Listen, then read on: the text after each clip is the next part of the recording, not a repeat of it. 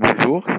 Dans ce chapitre, euh, l'anatomie du système lacrymal est, subdivisée en anatomie des tissus mous et histologie. La connaissance de ces deux anatomies est essentielle pour la chirurgie des voies lacrymales.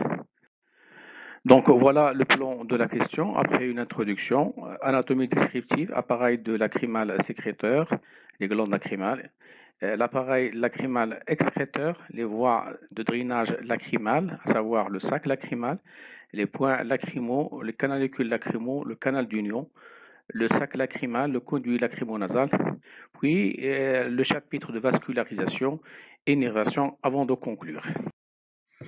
Par définition, le système lacrymal est constitué de plusieurs composantes qui permettent la formation des larmes, leur répartition sur la surface antérieure du globe oculaire et leur euh, évacuation par le système excréteur.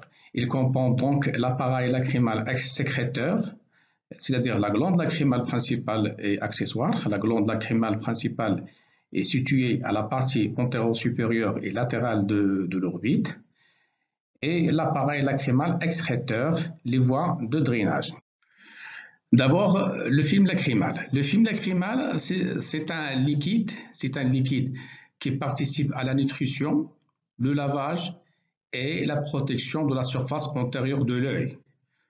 Donc, euh, la sécrétion de, ce film lacrymal est, sont produits par la glande lacrymale principale, la glande lacrymale principale euh, et les tissus lacrymaux accessoires et la glande de Crous et le glande de Wolfring. Donc, il faut savoir que sa qualité et sa bonne répartition impliquent une sécrétion diversifiée, une sécrétion adaptée. La distribution de ces larmes est sous, donc, sous la dépendance de paupières qui distribuent le larme sur tout l'œil et propulse le ménisque donc les paupières, donc, qui permet de distribuer le larme sur la face antérieure de globe oculaire et propulse les, les ménisques lacrymales le long de bord, de bord palpébral. Donc, le recueil de, des larmes, donc les larmes pénètrent dans les méas, donc dans les méas euh, lacrymaux au niveau de l'extrémité interne des paupières, passant donc les canalicule supérieur et inférieur et par le canalicule d'union dans le sac lacrymal. Sur euh, ce schéma euh, qui montre la structure euh, de film lacrymal. Donc, le film lacrymal était décrit comme une structure faite de trois couches.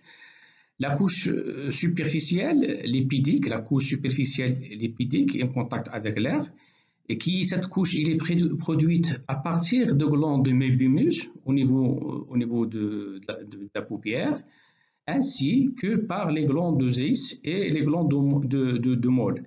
Alors, les principales fonctions de la couche lipidique sont donc de lutter contre l'évaporation des larmes et d'assurer euh, le glissement des paupières sur la cornée. La deuxième couche, c'est une couche intermédiaire, donc c'est une couche aqueuse. Elle est essentiellement sécrétée par les glandes lacrymales principales et accessoirement par les glandes lacrymales de Krus et Wolfring. La troisième couche, c'est la couche mucoïde, c'est la couche mucoïde ou muqueuse la plus profonde. Elle est en contact avec l'épithélium euh, cornéen. Donc, cette couche est sécrétée par les cellules calciformes et épithéliales de la conjonctive et accessoirement par les glandes lacrymales. Donc, il faut retenir que, le rôle principal de, film lacrymal, d'abord, c'est de protéger de façon euh, permanent la cornée et la conjonctive et, d'assurer l'humidification de la cornée. Ainsi comme un lubrifiant euh, favoriser le glissement le glissement des paupières sur la cornée. Et joue également un rôle optique. Donc euh, le film lacrymal créé en effet en avant de la cornée donc euh, de la de surface régulière qui permettent donc une vision précise. Alors sur le plan anatomique, l'appareil lacrymal est subdivisé en deux parties. L'appareil lacrymal sécréteur, c'est les glandes lacrymales euh, principales et accessoires, et l'appareil lacrymal excréteur, c'est-à-dire les voies lacrymales de drainage, donc par, est composé de, de, de, des points lacrymaux, les canalicules lacrymaux, le canal d'union, le sac lacrymal et le conduit lacrymo-nasal. Deuxièmement, euh, l'anatomie des glandes lacrymales. Deux types de glandes lacrymales, la glande lacrymale principale et les glandes lacrymales accessoires. La glande euh, lacrymale principale, euh, située au niveau l'angle support externe du toit de l'orbite, il se trouve dans une fossette située dans l'os frontal, dans la partie antéro supérieure et latérale de l'orbite, donc en arrière de rebord orbitaire.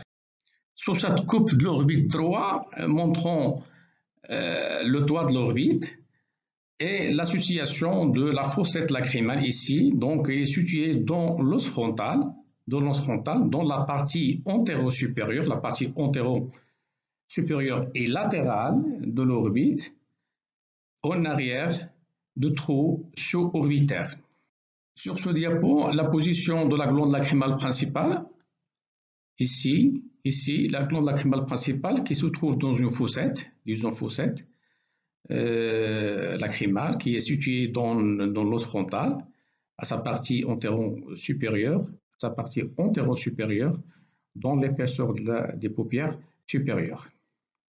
Donc, euh, la glande lacrymale principale, elle est séparée en deux parties par l'aileron du muscle releveur de la paupière supérieure, en deux parties, une partie palpébrale antérieure et inférieure, une partie palpébrale antérieure et inférieure, une partie principale, c'est la partie principale, partie orbitaire, et les postérieure et supérieure, une partie orbitaire, postérieure et supérieure.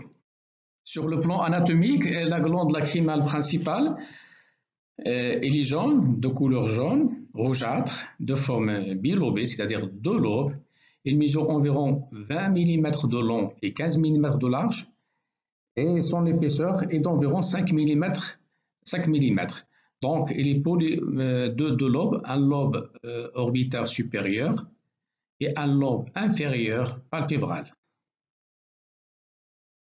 Ici, la glande lacrymale avec ces deux lobes, le lobe euh, orbitaire et le lobe euh, palpébral qui sont séparés par les ailerons de muscle releveur de la paupière. Ici, c'est la même chose, le, lobe orbitaire et le lobe palpébral. Donc, il occupe la fossette lacrymale de l'os frontal. Ces rapports se font donc en avant avec le septum orbitaire et en arrière euh, la graisse orbitaire, en bas euh, le cul-de-sac conjonctival, en dedans le bord externe de droit supérieur, en dehors le bord supérieur de droit externe. Donc les deux parties de la glande euh, lacrymale sont entourées d'un tissu fibroconjonctif qui la relie au périoste. Alors sur cette photo, les rapports de la glande lacrymale principale, en dehors le bord, le bord supérieur du muscle droit droit externe. En dedans, sur le bord externe du muscle droit supérieur. En arrière, ici, en arrière, c'est la graisse intraconique. En avant, c'est le septum. Et en bas, en bas, c'est les cul-de-sac. La glande lacrymale principale avec ses deux lobes. Le lobe principal, c'est le lobe orbitaire et le lobe euh, palpébral inférieur. Ici, normalement, il y a entre 10 à 12 canalicules lacrymaux. Ici, les canalicules lacrymaux qui s'ouvrent dans le cul-de-sac euh, supérieur. Alors, à côté de la glande lacrymale principale, il y a des glandes lacrymales accessoires. Ce sont des glandes disséminées dans la conjonctive et les tarses. Euh, ces glandes assurent donc la sécrétion lacrymale de base. Il s'agit de, glandes de Krus et de Wolfring les glandes de Mébimus, les glandes de Zeiss et les glandes de Moll. Sur ce schéma, expliquons la localisation euh, des glandes lacrymales.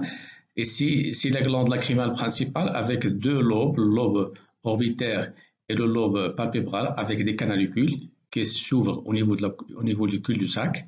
Ici, c'est le gland de Wolfring au niveau du cul-de-sac conjonctival.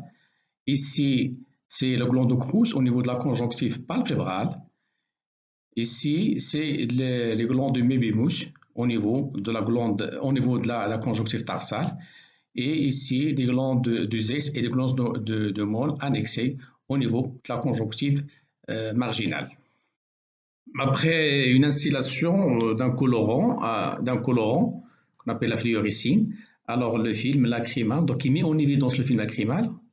Donc vous voyez ici le film lacrymal se colore en, vert le long de bord, euh, des bords euh, libres des paupières qui se drainent vers le lac lacrymal puis vers les mia lacrymaux.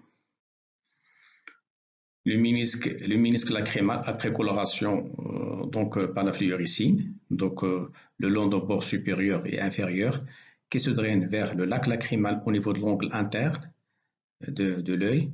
Ici, sans coloration, vous voyez ici le ménisque lacrymal inférieur et le ménisque lacrymal supérieur. Après avoir étudié l'anatomie des glandes lacrymales euh, sécréteurs, euh, c'est-à-dire la glande lacrymale principale et les glandes lacrymales accessoires, nous allons maintenant voir l'anatomie des voies lacrymales excrétrices, c'est-à-dire la voie, la voie lacrymale euh, de drainage. Donc, il est décrit en six éléments consécutifs, le lac lacrymal, les points lacrymaux, les canalicules lacrymaux, le canal d'union, le sac lacrymal et le conduit lacrymo-nasal. D'abord, le lac lacrymal. Le lac lacrymal, donc, les larmes sont euh, collectées dans les cul-de-sac euh, euh, conjonctivaux supérieurs et inférieurs, latéral et interne, donc sont acheminées vers l'angle interne, ici. cet espace est formé par la réunion des deux paupières la paupière supérieure et inférieure, et contient la caroncule et le repli semi-lunaire. Donc le lac lacrymal, cet espace qui correspond à la réunion de deux paupières supérieures et inférieures, qui contient donc la caroncule et le repli semi-lunaire. Pour les points lacrymaux, donc ils sont situés sur le bord libre, à l'union de la partie ciliaire et la partie lacrymale interne, les orifices des points lacrymaux sont maintenus billants, c'est-à-dire ouverts en permanence par un anneau fibreux. Ici, le point lacrymal inférieur. Ici, le point lacrymal inférieur et le point lacrymal supérieur. Ici, c'est un malade qui est opéré pour une dacryocystite avec une intubation, c'est-à-dire une sonde qui passe par le point lacrymal inférieur et le point lacrymal supérieur les canalucules lacrymaux, donc reliant donc, euh, le, lac lacrymal au canal d'union. Ces canalucules cheminent dans l'épaisseur de bord libre des paupières. Elles présentent une portion verticale très courte de 1 à 2 mm et une portion horizontale de 6 mm.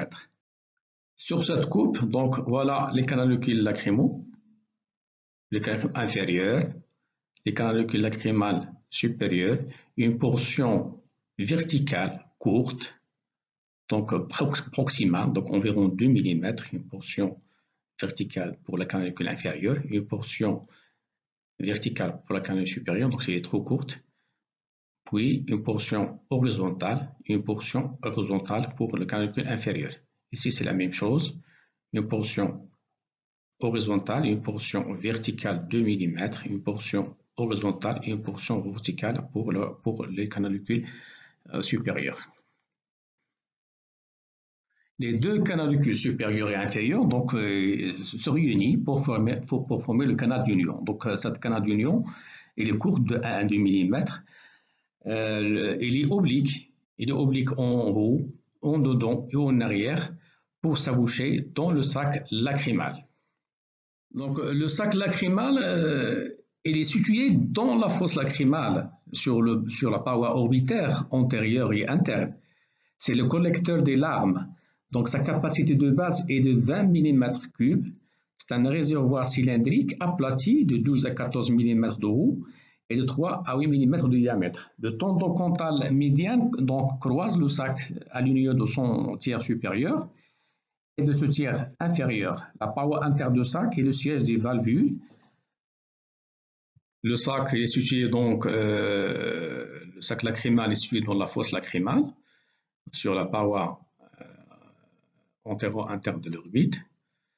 Il est entièrement situé dans la fosse, à moins qu'il ne soit donc, euh, augmenté de volume par une mucoselle ou d'autres euh, pathologies.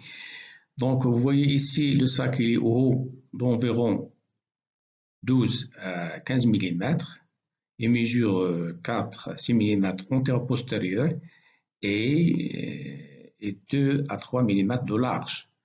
Donc, l'entrée l'entrée des, des canaux d'union ici, l'entrée du canal d'union est située à 3 à 5 mm sous l'apex, sous l'apex du sac lacrymal.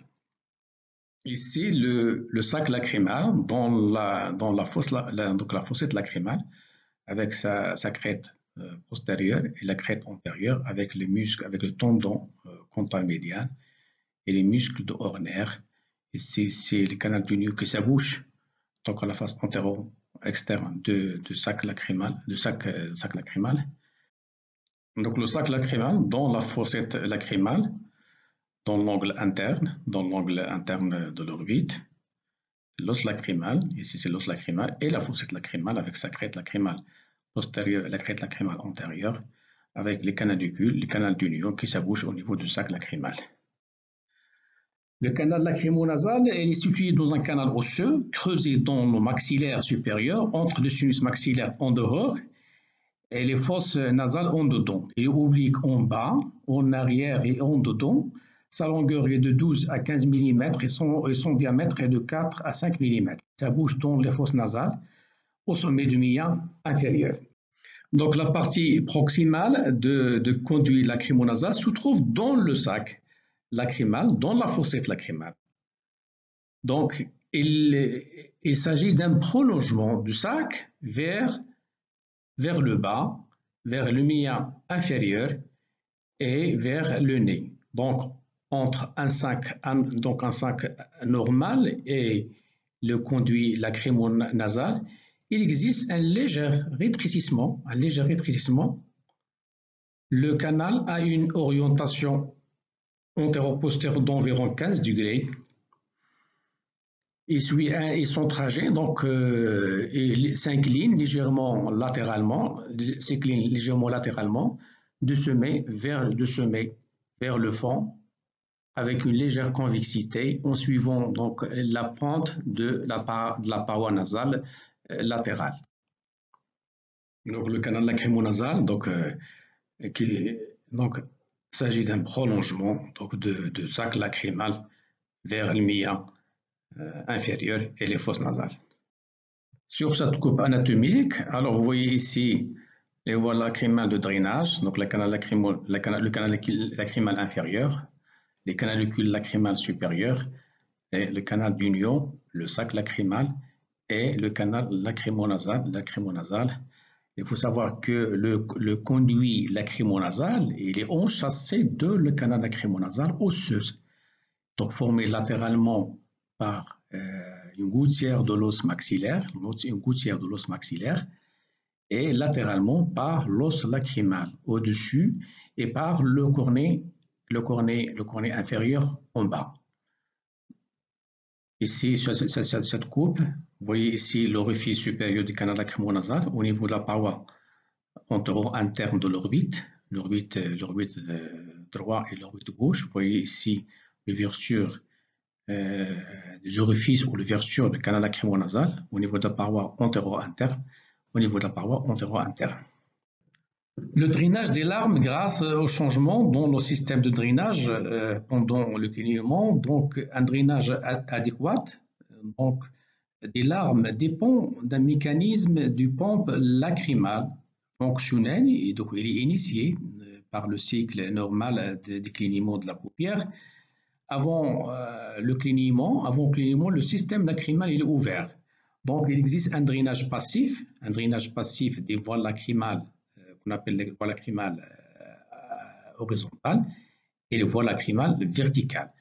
Deux ménisques au lac lacrymal, donc un drainage passif à partir du lac lacrymal. Ici, il existe un drainage continu mais elle est faible des larmes vers les deux méas, le deux méas inférieur et supérieur, lorsque les paupières ne clignent pas et induisit, donc par le phénomène, le phénomène de capillaire, de, capillaire et de, gravité. Même, aussi, donc de sac, de, sac lacrymal vers le nez, donc il existe un drainage passif et un effet de succion, donc euh, qui aide à la vidange du sac lacrymal et l'écoulement des larmes vers le bas par le conduit euh, lacrymo-nasal.